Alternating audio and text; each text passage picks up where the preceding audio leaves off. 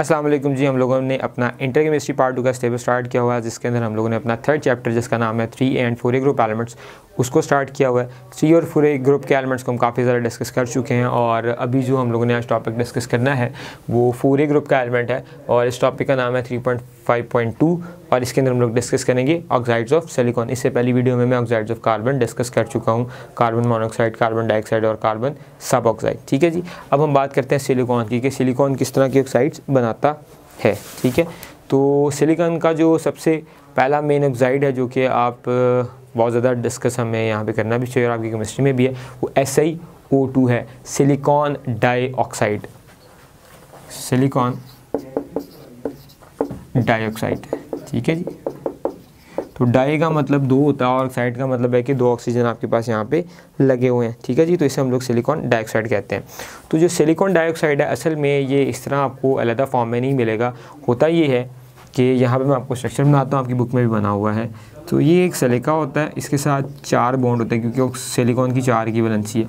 तो ये ऐसे करके एक ऑक्सीजन ऐसे हो एक ऑक्सीजन फिर ये एक सिलिकॉन यहाँ पे, इसके साथ ऑक्सीजन इसके साथ ऑक्सीजन और यहाँ पे नीचे भी ऑक्सीजन और यहाँ से अगर आप ले लें सो यहाँ पे सिलिकॉन, इसके ऊपर ऑक्सीजन इधर ऑक्सीजन और इधर ऑक्सीजन और आगे भी ये चलता जाता और इधर से आगे भी ये चलता जाता तो ये जो सिलिकॉन है एक्चुअली में ये चार ऑक्सीजन के साथ मिला होता है, ठीक है जी? तो इसकी चार की वैलेंसी है, चार ऑक्सीजन के साथ मिला एक, दो, तीन, ये चार। और ये लंबी सी चेन बनाता है ठीक है? जिस तरह कार्बन लंबी चेन बनाता है इस तरह सिलिकॉन भी लंबी चेन बनाता है। तो आप सोचेंगे कि इसको एस आई फोर लिखना चाहिए। नहीं असल में ये एस आई ओ फोर नहीं होता। ये अगर आप देखें तो एक जो आ, इसका छोटा पार्ट ले लें जिससे मिलके सारे का सारा स्ट्रक्चर बना हुआ है वो असल में एस आई ओ टू से बना हुआ है। तो हम इसे mainly S I O two कह देते हैं एज अ होल ठीक है? वरना इसका स्ट्रक्चर ऐसा यू टू नहीं होता। आप देख रहे हैं इसका स्ट्रक्चर कैसा है? ये लॉन्ग चेंज बनी हुई है। लेकिन हम लोग इसे एज अ होल ऐसे यू टू कह देते हैं। ठीक है? तो इसकी प्रॉपर्टीज़ क्या है ऐसे यू टू की? ये जो हमारे पास सिलिका है, इसकी प्रॉपर्टीज़ क्या होती हैं? Vitreous silica possesses following interesting and useful properties vitreous silica क्या होता है? ये आप इस टॉपिक के एंड भी पढ़ेंगे। अभी आप इस नाम को याद रखिए कि विट्रस सिलिका इज़ समथिंग तो मैं आपको एंड में बताऊँगा कि विट्रा सिलिका क्या होता है। तो ये सिलिका की एक टाइप ही है। सिलिका मतलब ऐसे टू की इसी चेन की एक टाइप है। तो अब देखते हैं कि इसकी प्रॉपर्टीज़ क्या हैं। यहाँ पे हम इसको हम्म, इसको मिटा देते हैं और डिस्कस कर लेते हैं इसकी प्रॉपर्टीज़ विट्रस सिलिका की। पहली तो प्रॉपर्टी ये है जी high transparency to light transparent to light ठीक है जी? तो पहली बात है, ये सिलिका जो है वो ट्रांसपेरेंट टू लाइट होता है। ये सी थ्रू आप इसके आर पार देख सकते हैं। Very refractory does not soften below 1500 degree centigrade to 1600 degree centigrade तो आपको बहुत ज़्यादा टेम्परेचर चाहिए सेलिका को पिघलाने के लिए, मोल्डन स्टेट में लाने के लिए सॉफ्टन ही नहीं होता, इतना हार्ड होता है। तो इट के आप रेत को देख लें, रेत को आप कभी पिघला सकते हैं। इट इज़ नॉट पॉसिबल लेकिन अगर आप 15 से 1600 डिग्री सेंटीग्रेड टेम्परेचर दें तो वहाँ पे वो नरम होना शुरू हो जाता है।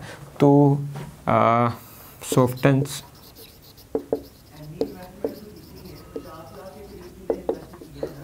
fifteen hundred to six hundred degree centigrade. तो इतना टेम्परेचर आपको देना पड़ेगा इसको सिर्फ़ सॉफ्टन करने के लिए तो इसकी प्रॉपर्टी है। थर्ड प्रॉपर्टी ये है जी वेरी लो थर्मल एक्सपेंशन तो ये बड़ी काम की प्रॉपर्टी है जी वेरी लो थर्मल एक्सपेंशन तो ये एक्सपैंड नहीं करता इतनी जल्दी। इसकी थर्मल एक्सपेंशन बहुत लो है। मतलब आपको बहुत ज़्यादा हीट दे तो ये डाइवर्ट नहीं करेगा ज़्यादा बढ़ेगा नहीं। अगर आप स्टील को देखेंगे अगर आप स्टील को दें तो उसकी थर्मल एक्सपेंशन है तो वो थर्मली एक्सपैंड कर देता है। लोहे की तो ज़्यादा उसे तो आप लोहे को हीट देंगे तो वो 1500 डिग्री 1600 डिग्री सेंटीग्रेड के ऊपर वैसे ही काफ़ी एक्सपैंड हो जाएगा वो लंबा हो जाएगा। लेकिन जो आपका सिलिका है ये इतनी जल्दी एक्सपैंड नहीं होता इसकी थर्मल एक्सपेंशन वेरी लो है। फिर बात करते हैं जी आ, एक्सलेंट इंसुलेटर। एक्सलेंट इंसुलेटर तो इसने होना ही है। कि ये इंसुलेटर ऑफ़ हीट भी है और इलेक्ट्रिसिटी भी इलेक्ट्रिसिटी इसके अंदर वैसे ही नहीं पास करती क्योंकि ये नॉन मेटल है। और दूसरी बात ये है कि ये आ, हीट का भी इंसुलेटर है तो हीट को ये अंदर आने नहीं देता। काफ़ी इंसुलेट कर देता है। तो वेरी गुड प्रॉपर्टी दूसरी बात ये है कि it is hard brittle and elastic ठीक है जी? हार्ड भी है और ब्रिटल भी है हार्ड आपने देखा है कि रेत कितनी हार्ड होती है। ब्रिटल भी होती है, ब्रिटल का मतलब ये है कि आप उसको खींचेंगे तो वो टेंसाइल प्रॉपर्टी शो नहीं करती तो उसको हम लोग ब्रिटल कहते हैं, ठीक है? स्टील आपका टेंसाइल होता है, वो ब्रिटल नहीं होता। तो मतलब जो स्ट्रेच नहीं होता। और दूसरी बात है, इसको इलास्टिक कहते हैं। इलास्टिक में और स्ट्रेची थिंग में क्या फ़र्क होता है कि हम लोग आमतौर पे इलास्टिक और स्ट्रेचनेस को सेम ही कर देते हैं, ऐसी बात नहीं है। अगर आप स्टील को देखेंगे तो आप उसको स्ट्रेच करेंगे, उसके पास ट्रेंजाइल प्रॉपर्टीज़ हैं। और इलास्टिसिटी मेनली टफनेस से भी रिलेटेड है। लेकिन आई थिंक सो अभी इसकी डिटेल में नहीं जाना चाहिए, आपके लेवल पे अभी इतना नहीं है। तो मैं इसको यहीं पे रहने देता हूँ। फिर इसकी जो मेन प्रॉपर्टी है, वो है ये insoluble in water and inert towards many reagents तो आप कभी भी रेत को पानी में डाल के देख लें, जो कि मेन फॉर्म है सिलिका की ऐसे यू टू की तो रेत कभी भी पानी में डिजॉल्व नहीं होती, वो पानी के नीचे बैठ जाएगी, क्योंकि इसकी स्पेसिफिक ग्रेविटी ज़्यादा है। तो पानी की बॉटम पर चली जाएगी, लेकिन कभी भी ये पानी के अंदर हल नहीं होगी। सो इनसॉलेबल इन वाटर और दूसरी बात यह कि मैनी रेजेंट्स की तरफ़ ये रिएक्ट नहीं करती। आप रेत को यूज़ कर सकते हैं उस जगह पे जहाँ जहाँ पे आप वो रेजेंट्स यूज़ कर रहे हैं वहाँ पे कोई केमिकल यूज़ कर रहे हैं तो वहाँ पे आप रेत को यूज़ करते हैं वो उसके साथ रिएक्ट नहीं करता है। ठीक है जी? तो इसीलिए जो रेत की ये जो कास्टिंग है डाइज बनाई जाती हैं जब स्टील को किसी शेप में देना होता है तो वहाँ पे सिलिकॉन की ये सॉरी रेत की डाई बनाई जाती है। तो आप देखेंगे कभी जाके आ, मैं चूँकि यूईटी से हूँ यू लाहौर से तो वहाँ पे हमारे लैब्स हैं मेटलर्जी की, जहाँ पे कास्टिंग होती है मटेरियल्स की स्टील की, बाकी चीज़ों की कास्टिंग होती है। तो मैंने पर्सनली ख़ुद भी इस चीज़ को देखा हुआ है कि वो जो सैंड की वो डाइज बनाते हैं और उसके अंदर मोल्टन मेटल को पोर करते हैं और वहाँ पर वो बन जाती है शेप जैसी आप शेप चाहते होते हैं मेटल की। तो इसीलिए यूज़ होती है क्योंकि ये अनरेक्टिव होता है, ये रेक्ट नहीं करता उसके साथ, ठीक है? और इसके बाद जो इसकी प्रॉपर्टी है वो भी बड़ी इंपॉर्टेंट है, वो ये है कि ये एसिड के साथ रेक्ट नहीं करता। आप सल्फ्यूरिक एसिड डाल लें, हाइड्रोक्लोरिक एसिड डाल लें, जो सा मर्ज़ी एसिड डाल लें, इसने उसके साथ रिएक्ट नहीं करना। स्मार्ट सिवाय सिर्फ़ हाइड्रोक्लोरिक एसिड के। एच एफ़ एक ऐसा एसिड है जो कि बहुत सारी चीज़ों को खा जाता है, ठीक है? तो H F is a very strong acid वो बहुत ही ख़तरनाक किस्म का एसिड है। तो उसको कंटेन करना भी इट्स डिफ़िकल्ट बहुत सारे एलिमेंट्स उसको कंटेन नहीं कर पाते हैं। और वो रेत के साथ भी रिएक्ट कर जाता है। तो एचएफ के अलावा ये बाकी किसी एसिड के साथ रिएक्ट नहीं करता। तो ये इसकी प्रॉपर्टीज़ हैं सिलिका की जो इस टॉपिक के अंदर भी डिस्कस हुई हुई हैं विट्रस सिलिका की प्रॉपर्टीज़ तो आ, मैंने आपके साथ वो डिस्कस कर दिए। जो हमारी मेन चीज़ है इस टॉपिक के अंदर टॉपिक काफ़ी बड़ा है और आ, मैं इसके मेन मेन पॉइंट ही आपके साथ डिस्कस करूँगा। मैं सारी चीज़ों को आपके साथ डिस्कस नहीं करूँगा। ये इसकी प्रॉपर्टीज़ हमने थोड़ा डिस्कस की हैं। अब बात कर लेते हैं यहाँ पे कुछ क्वार्ट्स की बात हुई अगर आपने बुक में देखेंगे। तो quartz the common crystalline form of silicon dioxide silicon की जो क्रिस्टलाइन फॉर्म है, ठीक है वेट्रस सिलिका असल में क्या होता है कि ये सिलिकॉन की एमोरफस फॉर्म होती है और सिलिकॉन की क्रिस्टलाइन फॉर्म क्या होती है, वो क्रिस्टल्स बनाती है, वो क्वार्ट्स है, ठीक है जी? तो quartz the common crystalline form of silicon dioxide is a hard brittle refractory colourless solid which differs very markedly from carbon dioxide तो कार्बन डाइऑक्साइड से ये थोड़ा सा डिफ्रेंशिएट करता है क्वार्ट्स और में और कार्बन डाइऑक्साइड में क्या फ़र्क है आप देखें कि क्वार्ट्स एक क्रिस्टल है, वो सिलिकॉन डाइऑक्साइड बना हुआ है, ऐसे यू का एक क्रिस्टल बना हुआ है तो वो सिलिकॉन डाइऑक्साइड है। और कार्बन डाइऑक्साइड का क्रिस्टल बनेगा या कार्बन डाइऑक्साइड का कंपाउंड बन रहा है तो वो एक गैस है। It is not even a solid तो कार्बन डाइऑक्साइड में और सिलिकॉन डाइऑक्साइड में इतना फ़र्क क्यों है? हैरानी वाली बात है कि क्वार्ट्ज एक सॉलिड बन गया है और एक क्रिस्टल की फॉर्म में आ गया इसके पास हार्डनेस है ब्रिटलनेस है, सब कुछ है। और कार्बन डाइऑक्साइड लिक्विड की फॉर्म में भी नहीं है, बल्कि वो गैशियस फॉर्म में चला गया तो इतना स्ट्रॉन्ग डिफरेंस क्यों है इन दोनों के दरमियान में? तो वो मैं आपको बता देता हूँ कि इसकी रीज़न क्या है। उसकी रीज़न हम ये देखते हैं कि जो कार्बन है ऑक्सीजन के साथ जब मिलता है so it forms carbon dioxide ठीक है? तो कार्बन डाइऑक्साइड का जो स्ट्रक्चर है, वो भी लीनियर है, मैंने आपको बताया है।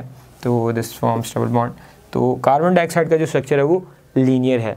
अब लीनियर स्ट्रक्चर है और ये छोटा सा एक मॉलिक्यूल बनाता है कार्बन डाइऑक्साइड का। वो छोटे छोटे मॉलिक्यूल आपस में मिलते नहीं हैं। ये चेन नहीं बन रही है। तरह ऑक्सीजन के साथ कार्बन ने दो दो बॉन्ड बनाया और ये कार्बन डाइऑक्साइड बन गया इस तरह एक और कार्बन डाइऑक्साइड नीचे पड़ा होगा, ठीक है? सो ये एक कोई लॉन्ग चेन नहीं बना रहा है।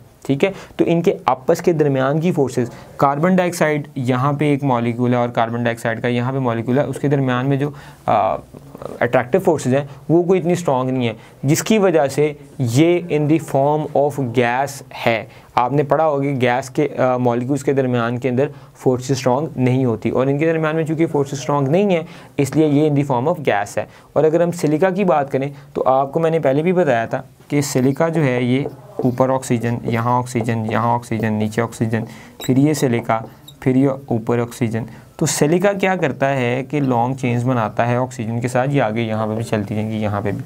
अब ये लॉन्ग चेंज बनाता है और this forms a giant structure तो ये अलहदा इसके एटम्स नहीं पड़े हुए हैं, या मॉलिक्यूल्स नहीं पड़े हुए हैं, ये सारे मिलके इकट्ठे एक कंपाउंड बना रहे हैं, जिसकी वजह से ये बहुत ही डिफरेंट ऑक्साइड बनाता है सिलिकॉन डाइऑक्साइड और वो क्रिस्टलाइन फॉर्म में भी होता है, और वो अमॉर्फस फॉर्म में भी होता है। ठीक है जी?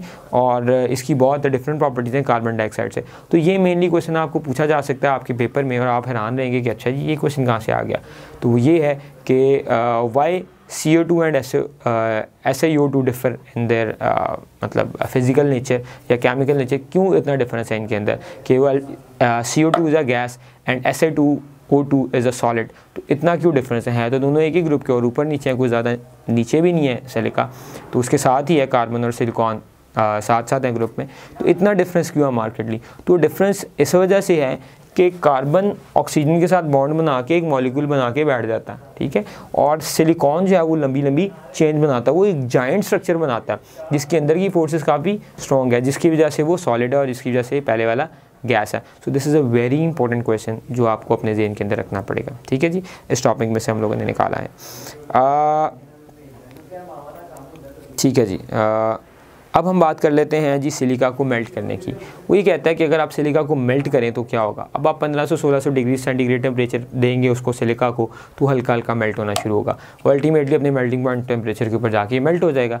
अब बात यह है कि अगर आप इसको कूल डाउन करते हैं तो आराम आराम से कूल डाउन करेंगे। टेम्परेचर आहिस्ता आहिस्ता कम करेंगे। लेट से 2000 डिग्री सेंटीग्रेड था। आपने पहले 1900 किया 1800 किया 1700 किया 1600 किया, आहिस्ता आहिस्ता आप नीचे लेके आ रहे हैं। तो ये डेफिनेटली क्रिस्टल्स बनेंगे, ठीक है? जो कि क्वार्ट्स बनता है उपल बनता। है तो क्वार्ट्स वगैरह जो क्रिस्टल हैं, ये कैसे बनते हैं कि आप सिलिका जो है वो आहिस्ता आहिस्ता कूल डाउन हुआ है तो आपके क्रिस्टल्स बन गए हैं, ठीक है? और अगर आप इसको सडनली मतलब ठंडा कर दें। दो हज़ार पे आपने चार हज़ार रुपये आपने इसको मेल्ट किया और सडनली आप उसको पाँच सौ डिग्री सेंटीग्रेड टेम्परेचर दे दें तो फ़ौर से वो ठंडा हो जाएगा फ़ौर से कूल डाउन हो जाएगा। तो एटम को क्या है? अपनी जगह पे जाने का टाइम नहीं मिलेगा। तो क्रिस्टाइन क्रिस्टलाइन फॉर्म में और एमोरफस फॉर्म में फ़र्क क्या होता है? मैं आपको यहाँ पर दिखा देता हूँ ये इस टॉपिक की आखिरी बात है। It was a very complex topic लेकिन मैंने इस कोशिश की है कि इसके मेन मेन पॉइंट्स आपसे डिस्कस करूँ और उसमें कुछ रह ना जाए। तो ये मेन जो आखिरी जो इसका पॉइंट है, वो मैं आपसे डिस्कस कर रहा हूँ। It's a very important point तो आमतौर पर होता ये है कि जब आपके पास एटम्स होते हैं तो एटम क्रिस्टल्स की फॉर्म में ऐसे जाते हैं। मैंने आपको बताया, पहले भी एक शेप बनाई थी। वो क्यूब की फॉर्म में होता है। क्यूब के जो कोने होते हैं, इसके ऊपर आपके एटम्स लगे होते हैं। ठीक है जी? तो ये इनकी सर्टन एक ज्योमेट्री होती है। उस ज्योमेट्री के अंदर एटम्स आते हैं तो क्या बनते हैं? क्रिस्टल्स बनते हैं।